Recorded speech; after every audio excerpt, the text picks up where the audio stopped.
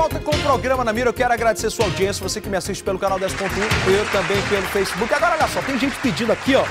Lá, a Liamilis, Liamilis ou Liamilis da Silva, tá pedindo para mandar um abraço lá para a Cidade Nova. Um grande abraço todo da Cidade Nova.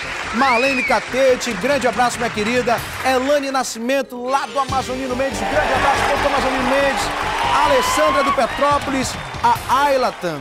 Ailatan, rapaz. Um abraço também para você, minha querida, e um abraço para todo mundo que nos acompanha, né, minha gente? Agora, olha só. Neste último domingo, um homem foi preso por invadir uma casa e estuprar uma menor de idade lá no município de Jutaí, no interior do estado. Quem conta essa história é o repórter Vanderlei Modesto, na tela do Namir.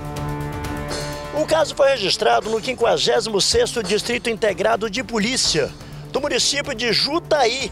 Foi uma denúncia anônima. Raulmilson Magno Lacerdo, de 19 anos de idade, ele é o principal suspeito de ter praticado um estupro de vulnerável. Ele está sendo acusado de ter estuprado uma garota de 16 anos de idade, ter violentado sexualmente. A garota é vizinha dele, a cabra safado.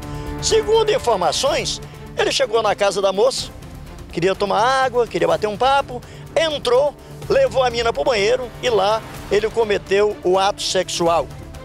Está preso, está atrás das grades, vai ver o sol nascer quadrado.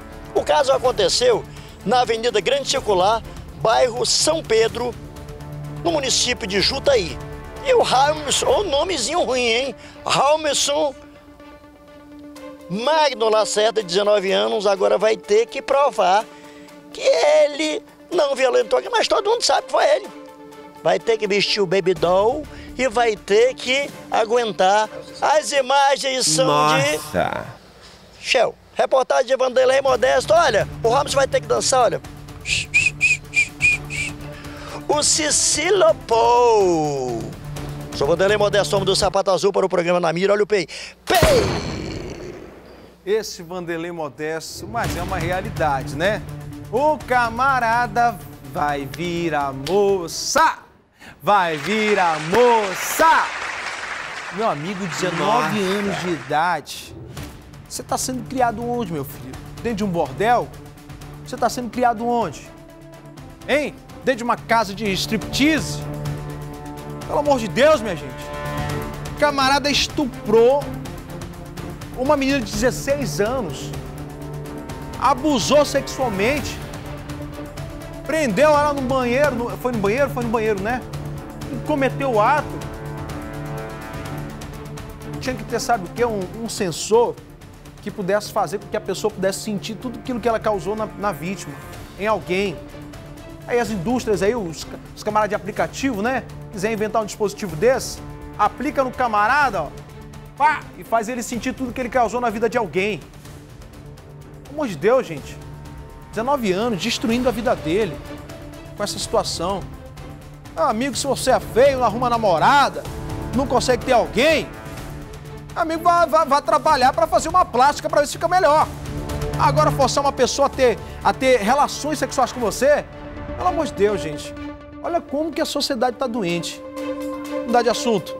E olha só essa situação. No último sábado, Elcivan da Silva Soares foi preso suspeito de roubar uma motocicleta lá em Manacapuru. O detalhe dessa história é que o ladrão é conhecido como Saci. Isso mesmo, porque tem apenas uma perna. Ele assaltava lá, ó. Chegava lá, pega lá, babosa. Passa tudo, passa tudo, passa tudo, senão eu vou correr. Vou correr. Pelo amor de Deus, por que, que não deram uma pernada no caboclo? E meteram a bolacha nele, porque é isso que a população faz. Quem conta essa história é o Marcelo Bezerra, na tela do Namira. Bom, para você que acompanha o programa Na Mira, nós estamos aqui na Rua B, na Rua do Aterro, no bairro do Biribiri, em Manacapuru. Vocês podem ver aí nas imagens, né? Esse vídeo que viralizou nas redes sociais de um ladrão que furtou uma motocicleta. Se com duas pernas, Luiz, é difícil você pilotar uma motocicleta, imagine com uma perna. Você já viu aí aquela história do Saci Pererê? Pois é, aqui em Manacapuru tem o, o ladrão que furtou uma moto por volta das 13 horas né, da tarde desse- dessa sexta-feira. No sábado, ele voltou aqui na rua para tentar extorquir a família desse, desse homem que foi é, roubada a motocicleta dele nessa casa. O que ele não sabia, Luiz, é que o proprietário já tinha as imagens da hora do furto. A vítima, que foi furtada da moto, ligou para a polícia. Mas antes de ligar para a polícia, ele veio aqui na frente cobrar uma quantia de 50 reais dizendo que já conhecia, sabia onde estava a placa, sabia onde estava a moto, aquela situação toda. Foi na hora que a vítima disse assim, mulher, liga aí para a polícia aí, liga agora para a polícia que ele está aqui na frente. Veja aí no vídeo a negociação aí do Saci Pereira aí, dá uma olhadinha aí. É, mas ele, ele, ele vai dar o retrovisor e a, e a coisa? O quê? Retrovisor e a placa ou só a placa? Porque sumiu o retrovisor e a placa, o cara falou. Foi? Rapaz, ele tá lá com a placa, ele disse que ele achou na rua lá jogado. Eu disse pra ele, eu, que o menino falou lá, eu sei mais ou menos onde que o, que o cara mora, que o menino ali falou. É constante esse número de assalto, furtos aqui pela rua? É. É o costume sempre acontecer. Não é toda vez, mas acontece, muitas vezes acontece. Geralmente que hora? É, à noite, né? Principalmente quando as pessoas não estão, né? Em casa eles aproveitam a, a ausência das pessoas. O ladrão é bem conhecido na cidade por outros delitos e devido a um acidente de trânsito ele perdeu uma das pernas, mas o Lourinho, o Saci Pererê de Manacapuru, já se encontra preso, foi encaminhado para a delegacia regional daqui do município e vai responder pelo crime de furto. Ele já tem várias passagens pela polícia e agora aguarda a disposição da justiça. tamanho da barriga do Saci. Como é que ele sai pulando e ninguém dá uma rasteira nesse caboclo? Pelo amor de Deus, minha gente. Tem que dizer, se dá pra colocar o vídeo aí só pra gente fechar o comentário aqui, pra gente encerrar o programa. O camarada de uma perna só tava assaltando a população de Manacapuru, meu pô. É aqui, ó, Barbosa. Dá aqui, ó. Vamos aqui, ó. Uma rasteira no caboclo. Entendeu? Entrega ele pra polícia. Diz que ainda foi negociar a moto do cara. Pelo amor de Deus, meu amigo. Você vai, você vai, você vai prestar, meu parceiro. Vá prestar, vagabundo. Olha aí a pose.